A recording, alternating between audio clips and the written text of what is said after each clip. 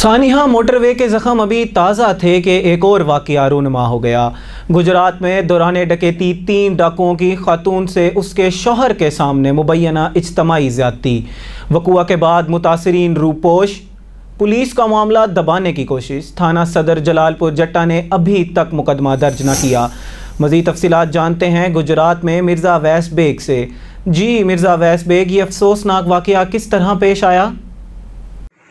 जी बिल्कुल सानेहा मोटरवे के बाद एक और सानेहा रोनमा हुआ है। गुजरात में थाना सदर जलालपुर जटा का गाँव कोटला सोया है, जहाँ पर रात की तारीखी में दौरान डकैती, गैंग रेप की वारदात हुई है और तीन मसाला डाकुओं ने शोहर के सामने जो है वो उसकी बीवी को सारी रात इज्तमाही ज़्यादा का निशाना बनाया। और ज़्यादा का शिकार होने वाला जो मियाँ बीवी है, वो वकुआ के बाद रुपोश हो गए हैं। पुलिस जो है ये मामला दबाने की कोशिश कर रही है। मौका पर पुलिस पहुँची है, मगर अभी तक कोई भी मुकदमा दर्ज नहीं किया जा सका। जब पुलिस राय से हमारी बात हुई तो उनका कहना था कि ना हमें विक्टम का पता है और ना ही मुलजमान का पता है, हम मुकदमा दर्ज कर किस तरह करें और जो है वो इस मामले को जो है वो देखा जा रहा है तफ्तीश जारी है।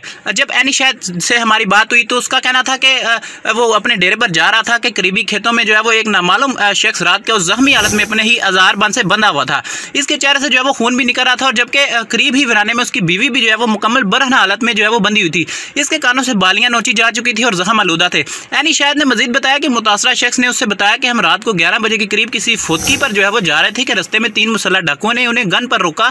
कानों की जो जो है वो बालियाँ नोची, और नकदी छीनने के बाद जो है वो सारी रात मेरी बीवी को जो है वो जनसी ज़्यादा का निशाना बनाते रहे।